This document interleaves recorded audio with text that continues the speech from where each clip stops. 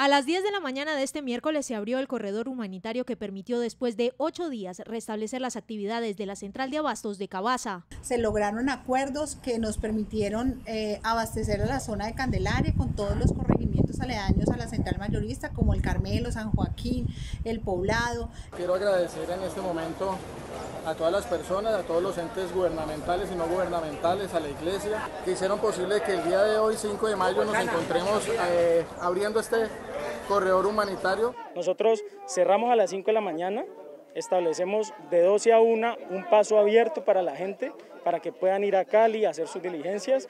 Volvemos a cerrar y volvemos nuevamente de 6 a 7 de la noche. Eso ya muestra una gran voluntad de nuestra parte, del pueblo de Juanchito resistiendo con el pueblo. Papa, tomate, melón, naranja, zapallo, papa amarilla, remolacha y zanahoria hacen parte de los alimentos que volvieron a distribuirse. Se estima que hoy se movieron más de 200 toneladas de productos.